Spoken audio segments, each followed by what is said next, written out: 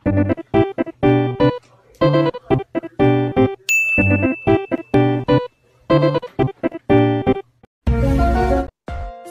di video kali ini cara membuat perangkas pribadi ya guys ya di HP Vivo Y21s ya guys ya ataupun Y21A ataupun HP Vivo Y21.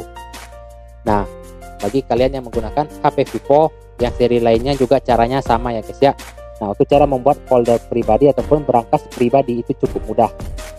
Nah, di sini langsung saja kita pergi ke aplikasi ini guys ya. Aplikasi Files Nah, aplikasinya itu seperti ini. Jadi ini memang sudah pembawaan dari HP. Jadi apabila kalian tidak ada aplikasi ini bisa kalian download juga di uh, Play Store ya guys ya. Nah, seperti itu. Jadi untuk membuat aplikasi uh, membuat folder pribadi kita ataupun perangkas pribadi itu cukup mudah. Ini kita tekan uh, buka aplikasi filesnya dulu guys ya. Nah, kemudian di sini kita scroll ke bawah. Nah, kemudian kan di bagian sini ada namanya folder aman. Nah, jadi apabila tidak muncul folder aman di sini, itu cara memunculnya cukup mudah. Kalian tekan titik tiga di sini. Nah, kemudian kalau kita tekan sembunyikan nanti dia bakalan hilang. Tapi kalau misalnya seperti ini kan sudah ada. Jadi untuk menimbulkan ini kalian tekannya garis tiga di sini ya. Oke. Nah, kemudian di sini kita tekan folder aman ini. Nah, kemudian di sini kan saya belum masih belum membuat nih perangkat saya ataupun ini. Jadi kita di sini ada dua pilihan yaitu bisa menggunakan pin ataupun pola untuk membuka folder tersebut ya guys ya. Nah, jadi di sini kita menggunakan pin saja. Nah, kemudian di sini kalian buat pin kalian ya guys ya.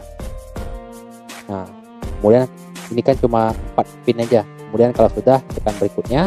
Kemudian kalian masukkan lagi pin yang barusan kalian buat. Kemudian tekan berikutnya. Kemudian di sini kita tekan. OK. Nah, seperti itu ya. Kemudian kita tekan kembali. Kemudian kita masukkan lagi pin kita.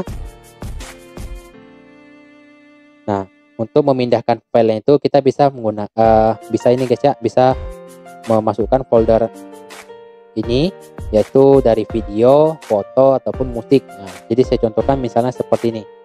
Di sini saya contohkan ke ini guys ya ke foto Nah, misalnya foto yang ini, ini kita tekan lama.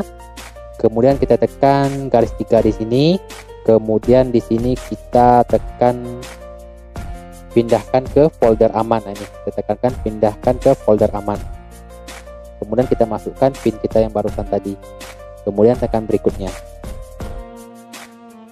Kemudian kita tekan kembali. Kemudian kita pergi lagi ke folder aman untuk meriksa apakah ada foto yang barusan kita pindahkan ke sini. Nah, maka ada fotonya guys ya. Nah, seperti ini. Oke, semoga teman-teman paham ya cara untuk membuat berangkas pribadi ataupun membuat folder aman di HP Vivo Y21 ini ya guys ya. Oke, semoga bermanfaat buat teman-teman. Jika ada pertanyaan silahkan komen di bawah dan sampai jumpa di konten berikutnya.